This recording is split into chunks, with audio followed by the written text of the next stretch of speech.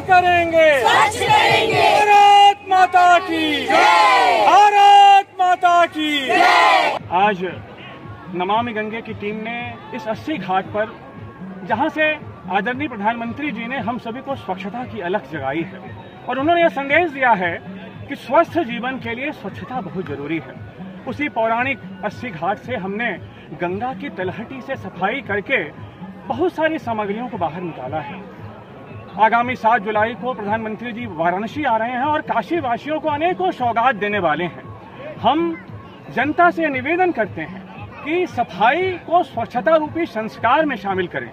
यदि हम जन भागीदारी सुनिश्चित करेंगे तो निश्चित रूप से गंगा का किनारा साफ़ सुथरा दिखाई देगा और मोदी जी द्वारा जो संकल्प, जो एक शपथ हम लोगों को दिलाई गई है, उसको हम आत्मसात करें।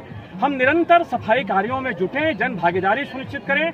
आदरणीय मोदी जी के नेतृत्व में नमामि गंगे परियोजना के तहत अनेकों सीवेज ट्रीटमेंट प्लांट बनाए जा रहे हैं। अब हम नागरिकों की भी ज़िम्मेदारी है कि गंगा में पॉलिथीन, कपड़े, साड़ियाँ, चुनरी, फ़ोटो, तस्वीरें, धार्मिक वस्तुएँ यह विसर्जित न करें, जिससे कि गंगा का किनारा स्वच्छ दिखाई दे। आइए हम संकल्प लें और आदरणीय मोदी जी द्वारा दिए गए संकल्प को आगे बढ़ाएँ कि हमें गंगा किनारे और गंगा की सहायक नदियों की स्वच्छता बनाए रखनी है, जल का संरक्षण करना है।